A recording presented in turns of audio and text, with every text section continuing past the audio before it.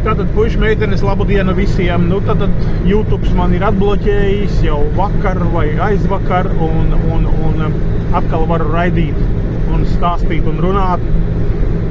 Gribēju, kamēr ko braucu no Rīgas, sapirku visādas tur Rīgas senukajā, ar labām cenām nopirku kvarts vinila grīdu jaunajai stila mājas, kā es tur rakstīju, romantiķu mājiņai, ko būvēju.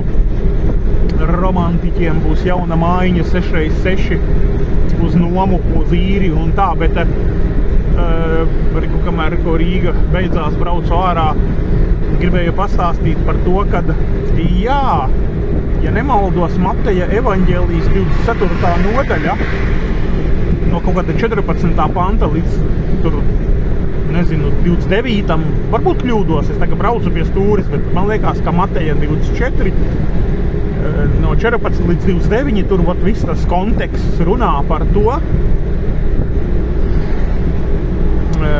kad tad būs, kā mēs sakam, draudzes paņemšana debesīs vai paraušana vai, vai nu, kā nu kurš, ja, jo Trintīte runā kad būs pirms, un citi saka bēdu laiku vidū, un citi saka bēdu laiku beigās, un līdz ar to ir trīs viedokļi, ja? Bet kā tad īsti ir un būs, ot es vēlāk apsēdīšos, jums visu izlasīšu, pastāstīšu, tā kā, tā kā tur visa patiesība arī ir uzrakstīta, un es arī te visu laiku tur kā ot, svārstījos, un tad tā, un tad šitā, un vienu dienu vienkārši sapratu, nu, tagad gari nerunāšu,